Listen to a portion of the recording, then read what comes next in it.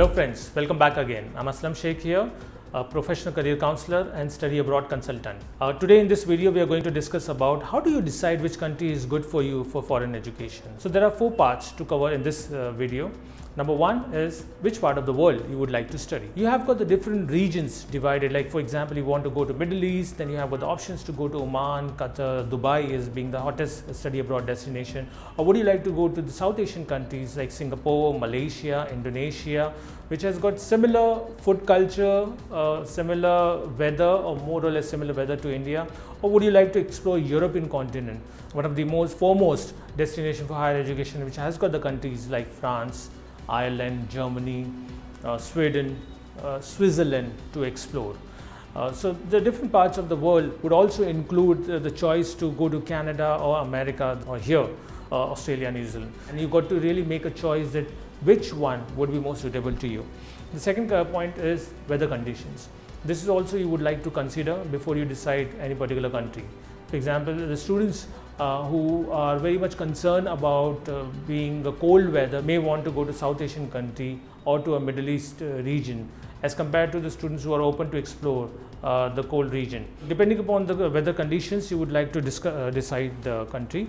The third point is culture and history, like which culture resembles to your upbringing. Maybe uh, you belong to certain community which has got a strong presence in one particular country and, or in the part of the country and then you would want to explore that particular region for your study abroad destination.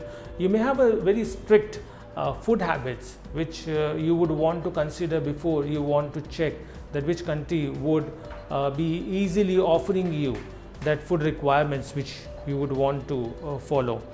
Uh, the fourth point is the immigration uh, rules.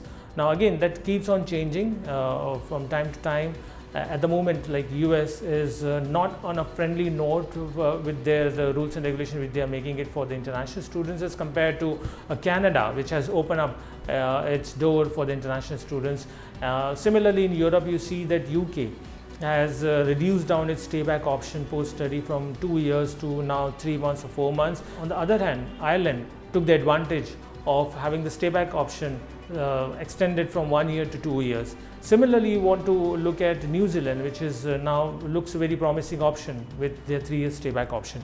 These are the four points which I covered in this video, and the next four points which I'm going to cover in the next video will be employability for that area of study, language spoken in that particular country, relatives and references, and your travel background. I hope you like this video.